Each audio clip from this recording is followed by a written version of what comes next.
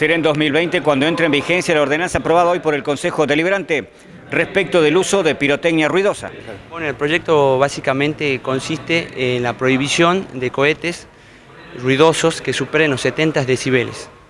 ¿Por qué? Porque esta problemática le afecta mucho a los niños que tienen TEA, trastorno del espectro autista, a nuestras mascotas, a nuestros animalitos, que muchas veces se asustan, salen de sus casas y sufren accidentes.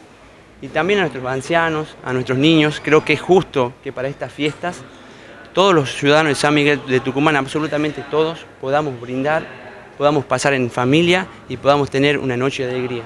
Así que en base a eso es que presentamos este proyecto.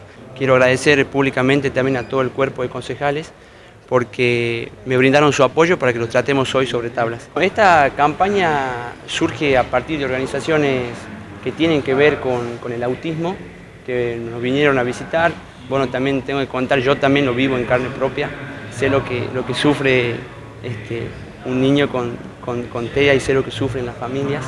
Y a partir de ahí, bueno, yo hace un mes que soy concejal, y a partir de ahí este, nos pusimos a trabajar, viene, inicié con mi gestión, empezamos a trabajar sobre el proyecto, conversamos con las organizaciones y empezamos con la concientización primero a través de las redes sociales y este, bueno, después presentamos el proyecto.